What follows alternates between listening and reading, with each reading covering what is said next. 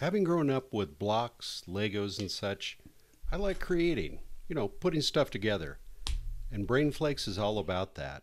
It's bright, colorful, and there's only one simple shape.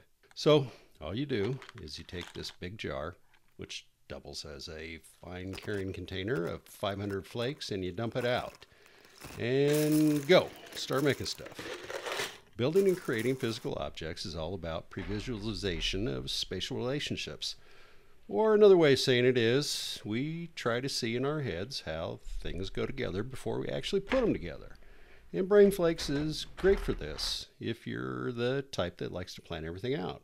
Or if you're like me, just pick up some pieces, snap them together, take a couple more, piece those together, and uh, see where you want to go from there.